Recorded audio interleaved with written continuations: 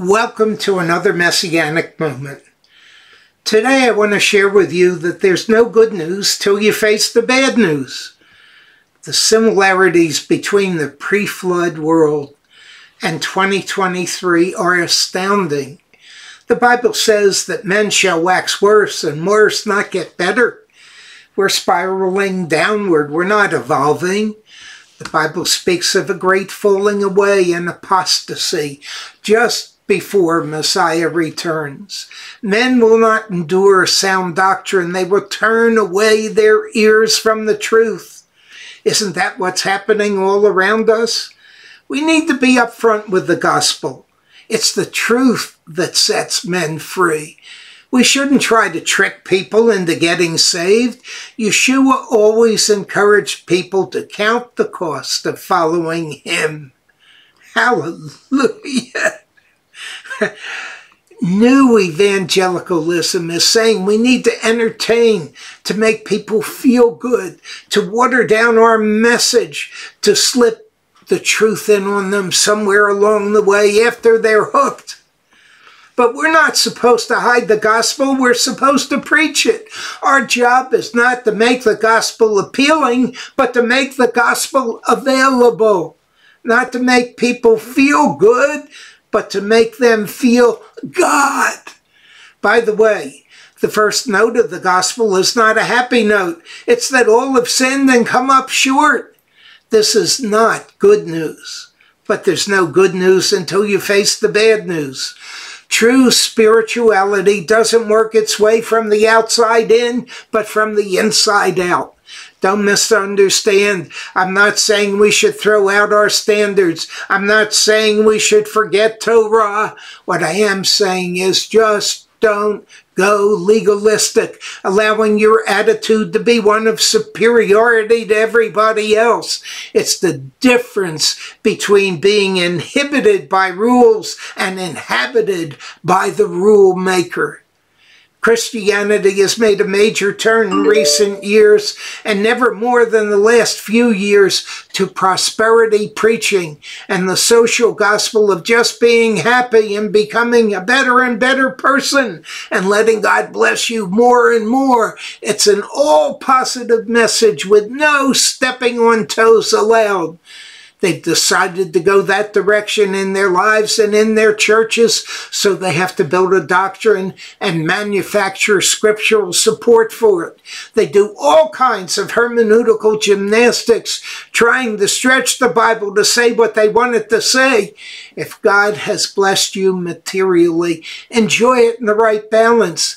God has given us richly of all things to enjoy, but true spirituality recognizes the best riches God has given to us is not money, is not material things, but true riches that moth and rust don't touch. The key is, do you own your possessions or do they own you? Do you control your finances for God's glory or do they control and steer you and your life?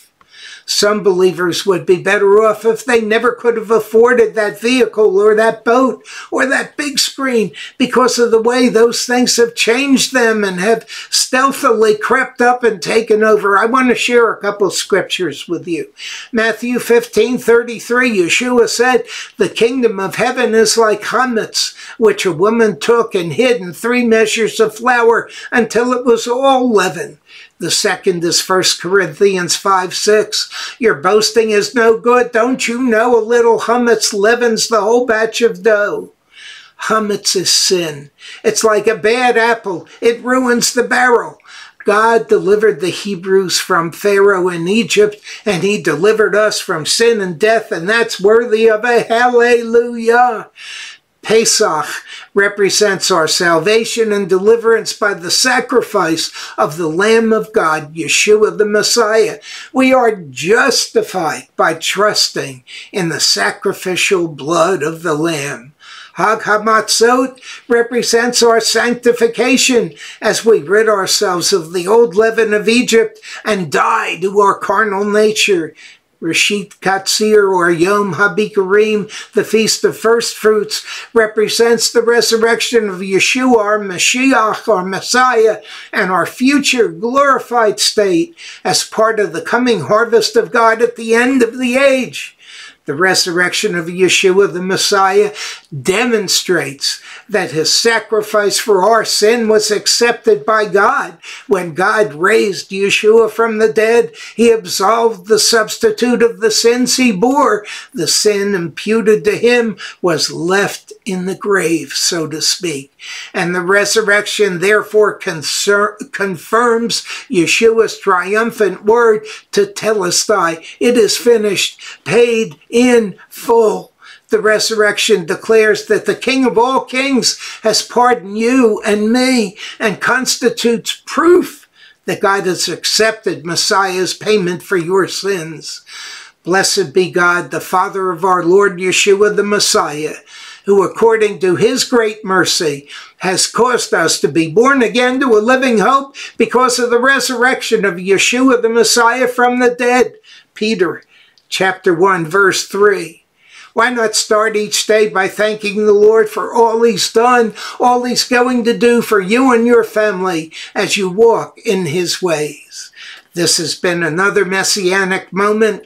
God bless you all. Until next time, shalom, shalom.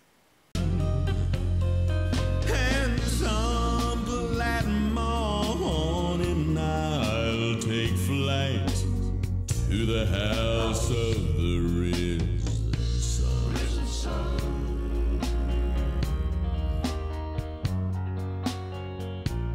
House of the risen